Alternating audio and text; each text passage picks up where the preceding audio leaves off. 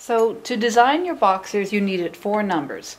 First, number one was your hip in centimeters. Number two was your rise. For number three and four, we had to do a little math. For number three, which is your one to two, it was half of your hip plus 10 centimeters. And for number four, it was half that number. So once you get those four measurements, we're ready to start.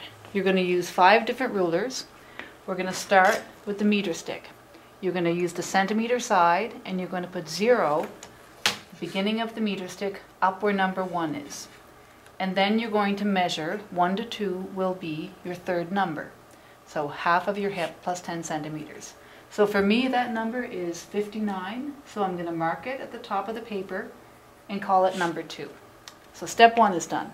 Now for step two, we're going to use the L ruler. We're going to put the narrow end of it up at the top and we're going to make sure that it's parallel, nice and even with the top edge of the paper. And first we're just going to draw that line. Just draw it about two-thirds of the way down. At this point we're not going to measure it.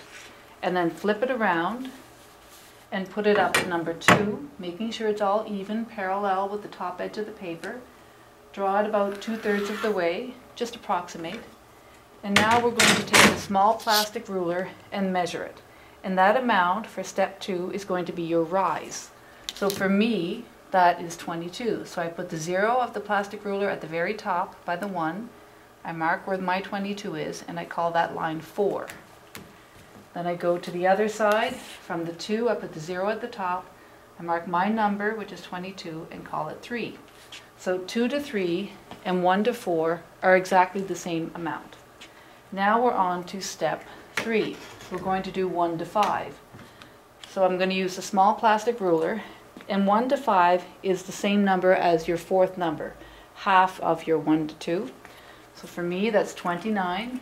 So I'll put 0 at 1 at the top, mark 29 and a half, and call it 5. Now I want to square that line. It's the same practice. Line up the L ruler, the narrow end at the top, and just draw that line down. So now to finish step, um, this next step, which is step four, uh, it's got to be the rise amount plus 15 centimeters. So for me, my rise is 22, and if I add 15 to that, that would be 37. So I put zero up at the top, and I mark where 37 is, and call it 6. So, so far we've got one, two, three, four, five, six. So now we are on step five. Using what's called a hip ruler, you're going to line up the short end on the line below the three, and you're going to draw a line across five centimeters. And there are centimeters measured on this ruler, so you can use those. You can measure and draw at the same time, and call that line seven. And now you're going to turn the ruler the other way with the short end up, line that up to that line you just drew, the 3 to 7, and then draw it down your rise amount 15 centimeters. Sorry, not your rise amount. Just draw it down 15 centimeters and call that 8. Now you're going to do the same thing on the other side. So put the long end against the line below the 4 line it up and you're going to draw it 10 centimeters and call that 9. So 3 to 7 was 5 centimeters and 4 to 9 will be 10 centimeters. And then you're going to square that line down. So line that up and you're just going to square it down 15 centimeters. Actually, I'm going to draw it because the numbers are backward on this side. So I'm just going to draw it and then use my plastic ruler measure that it's 15 centimeters, and call that 10. So 7 to 8 and 9 to 10 should be the exact same amount. Now you're going to take the meter stick and you're going to join 8 to 10. Now hopefully 6 will intersect right in the middle, but if it doesn't, just move your 6 so that it's exactly at that intersection. Now mine worked out well, and sometimes they do, but sometimes they don't. So we did step five, which was squaring a line at three to seven. And then we did step six, which, which was squaring it down 15 centimeters. Then we did step seven, which was four to nine, squaring it across 10 centimeters, and step eight, which was squaring it down 15 centimeters, and then joining eight to six to 10.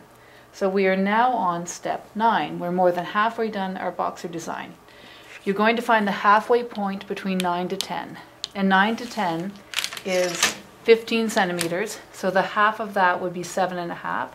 So using your plastic ruler, measure seven and a half, call it 11. For this next step, put your pencil where number 10 is and measure over one centimeter. Just make a little mark. And then use your ruler again, turn it the other way, and measure down three centimeters from there. And call that number 12. So 12 was over 1 from 10 and down 3. And now I want you to join 11 to 12. And while you're joining it, measure it. You'll see that it's about 10 and a half centimeters. So that number, I want you to put over where number 8 is and mark, put 10 and a half where 8 is and mark it up here at the 0 and that will be your number 13. So 13 to 8 and 11 to 12 should be the same amount, although the 11 to 12 is on an angle. And then I would like you to join 6 to 12. So it's angled, but it's on purpose. Okay, and now you are almost ready to finish. We're going to draw the curves. So the first curve is the front curve from 3 to 13. So you're going to take this hip ruler, I've got clear ones or this, this white one, you're going to have the curve hit 3 and 13 at the same time and trace that shape. And then move it to the other side and you're going to join from 4 to 11. So again, have the curve hit and touch 4 and 11 at the same time and then trace that curve. So basically, your boxer design is done now. We just need to label it. This line in the middle, this 5 to 6, that's your grain line. I want you to draw an arrow at the top and an arrow at the bottom just write in grain line, G-R-A-I-N-L-I-N-E.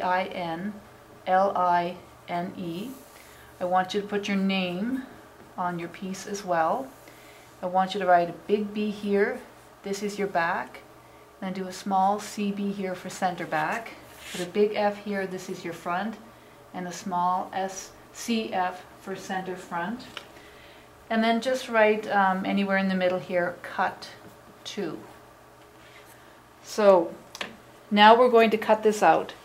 You're going to cut straight down here, continue on this curve, down, so you're cutting from 1 through to 4 to 11, then from 11 down to 12, we're ignoring the 10, from 12 up to 6, 6 up to 8, 8 up to 13, and then the curve for the front, 13 to 3 to 2. So you're cutting that out, and you won't need this here, you won't need this here, and you won't need this here.